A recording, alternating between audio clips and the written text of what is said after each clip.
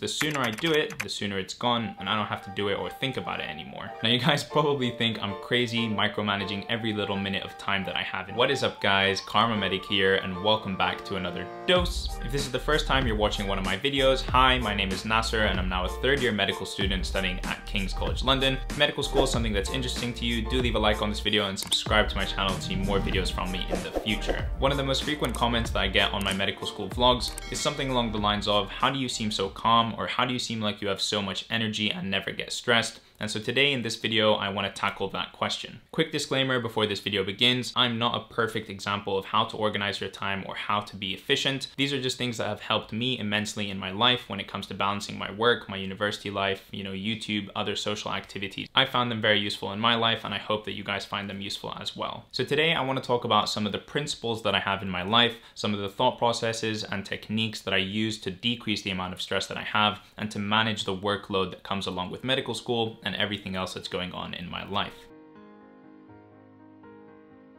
I think one philosophy that is very important in my life that sort of gives me the freedom to not feel stressed is that I don't believe there's such a thing as I don't have time. Whether that be going to the gym, studying, going out with friends, whatever it is, I feel like you always have time to do something. It just depends on shifting your priorities around and deciding what you want to dedicate your time to. We are all in control of our time. We decide what we want to do with our time. If we want to sleep in, we can do that. If we want to go out with friends or if we want to study or if we want to play video games, those are all decisions that we make. It's very core to my philosophy about how I think about time management and how I think about tasks and organization and things that I need to do in my day.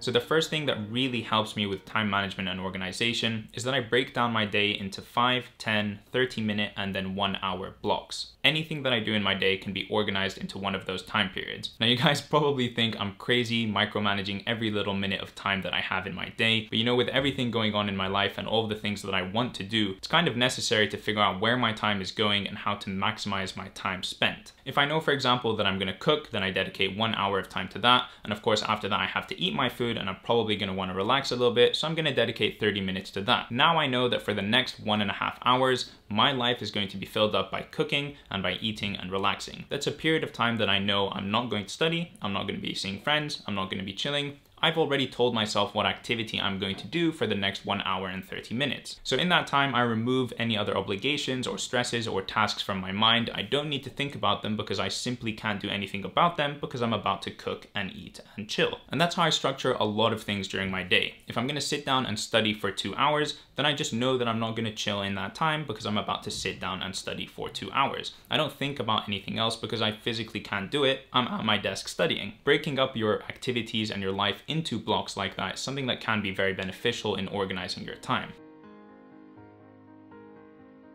In a lot of my vlogs, I also get comments asking me how I'm not stressed when I'm like a week away from an exam or a couple of days away from an exam. And the simple truth is I'm just not stressed around that time. If I've already spent a week or two preparing for an exam and I've seen as much material as possible, I've done as many practice questions as I can, then what am I still stressed about? I know that I've put myself in the best position that I can to do as well as possible on the test. If I don't do well for whatever reason, I can look back on my studying techniques and methods and see what went wrong, figure out how to change it moving forward and do better in the future. And if the test goes well, I can also reflect on what I did and see how I can emulate that moving forward and adapt it to different subjects so that I can continue to do well in the future.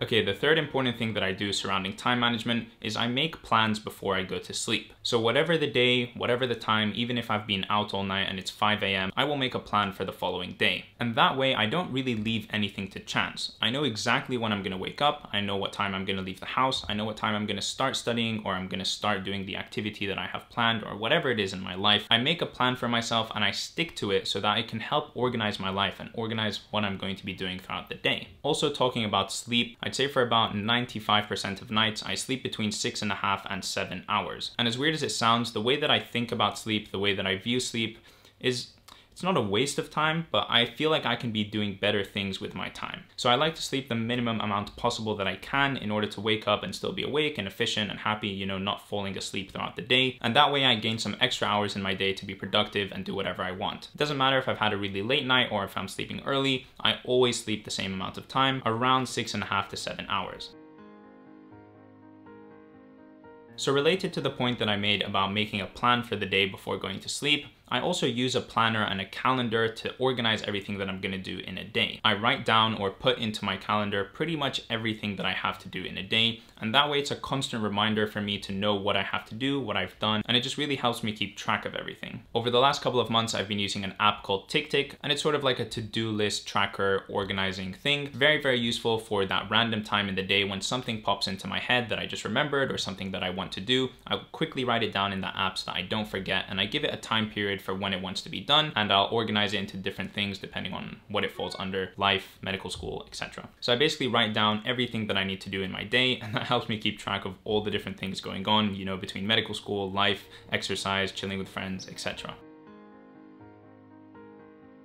Now, probably the biggest tip I can give for time management and organization and everything like that is to just not procrastinate. And I know this is way easier said than done, and some people have a much easier time not procrastinating than others. But at the end of the day, if I set myself a task and I know that it needs to be done, I'm going to want to do it as quickly as possible. I mean like ASAP. If I think of a task and I can do it right then and there, then I'm going to start doing it right then and there because the sooner I do it, the sooner it's gone and I don't have to do it or think about it anymore. And a good way that I find that helps me do this is I set specific times for me to do something. So let's say I have to send an email or I have to go through a lecture. I'll tell myself that on Sunday at 6 p.m. after I'm done chilling, after I'm done cleaning the house or whatever, I'm gonna do that lecture. Or for example, if I have to do an email, I'll say, okay, look, I'm really hungry. I'm gonna have dinner now. I'm gonna sit down for 10 minutes with a YouTube video and then I'm gonna write that email. And sort of making these promises to myself or saying that I'm going to do something, writing down that I'm going to do something at a specific time makes me feel like I'm obligated to do it or that I have to do it when that time comes. Another thing that I do in my life is I try to make use of absolutely any time that I have. And the best example of this is probably when I'm commuting on the tube or on the bus. That time is really dead. It's difficult to pull out a book and start studying because it's so loud and you're moving and if you don't get a seat, it's basically impossible. So during that time, I either listen to audiobooks or I use an app like Blinkist to get condensed versions of nonfiction books that I'm reading. And that way, at least I feel like I'm doing something useful. I'm doing something in my time instead of just staring at the wall and listening to music or whatever. I also use that time to open my notes app and write down YouTube video ideas, build out some scripts for YouTube videos and stuff like that, just to make use of that time so that I'm not literally staring at a wall, wasting my life away as I commute. Because if I do things like that when I'm commuting, well then I don't have to do them later and I can use that extra time for something else now.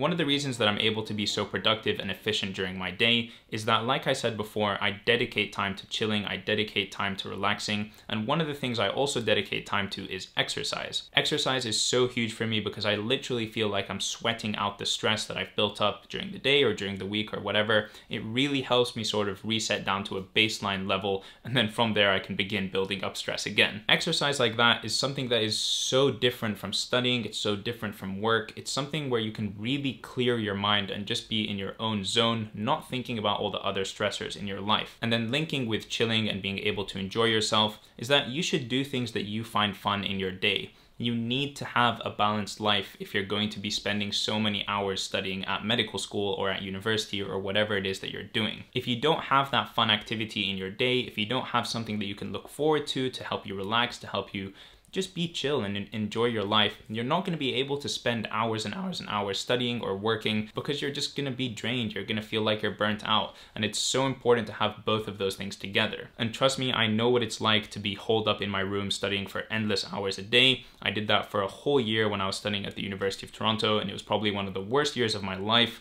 And so that's why now I put such a heavy emphasis on keeping a balanced life and making sure I do lots of different things so that I never go back there again.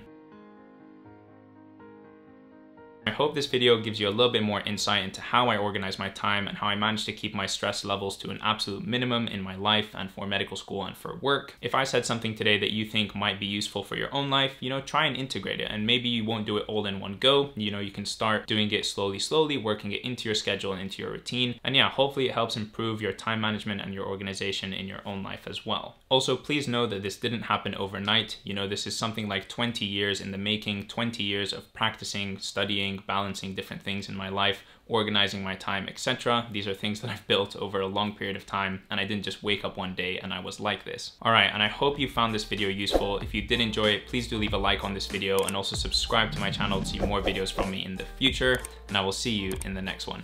Peace.